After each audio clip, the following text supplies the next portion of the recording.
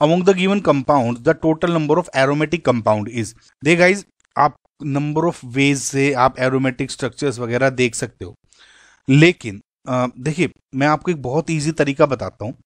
वो बेसिक ही है है ना? जो, देखिए, क्या कंडीशंस होती हैं किसी भी एरोमेटिक स्ट्रक्चर के लिए। पहला तो है आपका जो साइक्लिक कंजुगेशन होनी चाहिए करेक्ट साइक्लिक कंजुगेशन के साथ साथ इसमें ये एक प्लेनर स्ट्रक्चर होना चाहिए और वो पार्ट की बात कर रहा जो कि हम जिसमें देख रहे हैं एरोमेटिसिटी और तीसरा होता है four n plus pi electrons correct अब देखिए साइक्लिक कंजुगेशन में बच्चे बहुत कंफ्यूज होते हैं, लेकिन मैं आपको एक चीज़ दिखाता हूँ। वी नो कि जब C double bond C double bond ये मैं देख रहा हूँ। अभी साइक्लिक नहीं है कंजुगेशन है लेकिन। इसमें सबसे ईजी तरीका कंजुगेशन क्या है? देखिए, जो डबल बॉन्ड बनता है, वो किस लिए बन रहा है? कैसे बनना है? ये पी जो ऑर्बिटल्स हैं, इन सब में। इसकी जब ओवरलैपिंग हुई होगी तो ये, देखिए, ये तो सिग्मा बॉन्ड बन गया। और जो डबल बॉन्ड है, वो इसकी ओवरलैपिंग से बना होगा। समझ में तो इस, ये डबल बॉन्ड इसकी ओवरलैपिंग से बना होगा।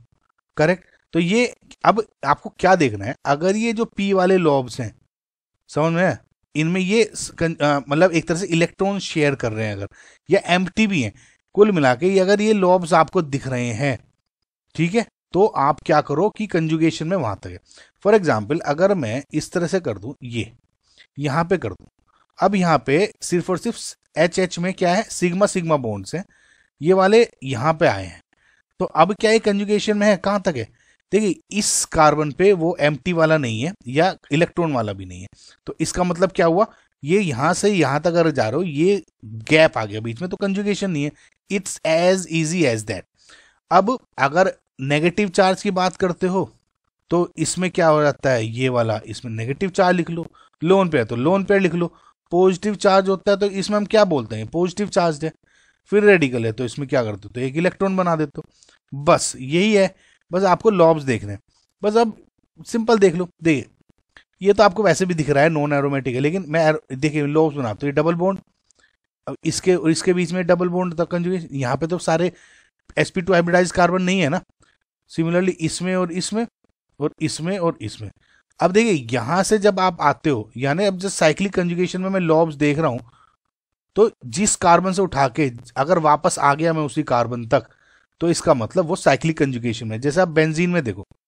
बेंजीन में इस पे भी ये डबल बॉन्ड है, ये यहाँ पे भी, इधर इधर तो यहाँ से अगर मैं निकलता हूँ, घूम के वापस उसी कार्बन पर आ जाता हूँ तो साइक्लिक कंजुगेशन हो गया।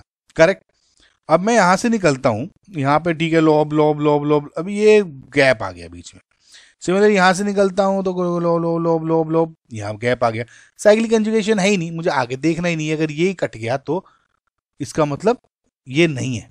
करेक्ट इनकरेक्ट सिमिलरली इसमें देखो आप, ये यहाँ से लोब स्टार्ट हुआ, यहाँ पे भी है, यहाँ पे भी है, यहाँ पे भी है, इस कार्बन पे भी है, इस कार्बन पे भी है, इस कार्बन पे भी है, इस कार्बन भी है, और इस कार्बन पे क्योंकि ऐसा ये लोन पेयर हो गया। ये वाला दो इलेक्ट्रॉन तो साइक्लिक कंजुगेशन तो हो गई। ठीक है? प्लेनर स्ट्रक्चर भी है। अब देखो, इस वाले अगर स्ट्रक्चर को देखो फोर एंड फाइव प्लस कैसे? One two three four five and six मुझे पूरे आगे वाले को काउंट भी नहीं करना है। ठीक है? तो सिक्स इलेक्ट्रॉन मतलब four and five plus electrons को फॉलो कर रहा है। समझ में आपको? तो बस, अब one two three four five six इसको भी देखोगे तो ये भी फॉलो कर रहा है। तो ये क्या हो गया? एरोमेटिक हो गया प्लेनर स्ट्रक्चर तो है ही, छह छह और पाँच के सिमिलरली इसमें अगर आप देखोगे, ये वाला पार्ट तो आपको डायरेक्टली बेंजीन दिख रहा है। और ये क्या है? बस ब्रांच है। इस ब्रांच से कंफ्यूज मत हो। इसको एज्यूम करो, जैसे बेंजीन को आप एरोमेटिक कहते हो तो क्या आप ओ एम ई अगर एनिसोल बना दो, या फिर अगर इस टाइप का कंपाउंड बना दो तो क्या ये नॉन एरोमेटिक हो जाएगा क्या? नहीं, अगर मैं यहाँ एक सिंपल रे रिंग बना दूँ तो नॉन एरोमेटिक हो जाएगा क्या? नहीं एरोमेटिक है ना भैया, एक बेंजीन रिंग प्रेजेंट है। ठीक है? तो ये क्यों नहीं होगा फिर? तो इसका मतलब ये भी जो आपका है एरोमेटिक है। सिमिलरली इसमें भी मुझे आगे ज़्यादा देखने की ज़रूरत ही नहीं है। ये भी एरोमेटिक दिख रहा है एरोमेटिक दिख रहा है। One two three four five and six six electrons दिख रहे हैं। तो ये भी एरोमेटिक ही हो गए। तो वन टू थ्री कितने नंबर पूछा तो, तो थ्री आपके टोटल एरोमेटिक हो गए and that is your final answer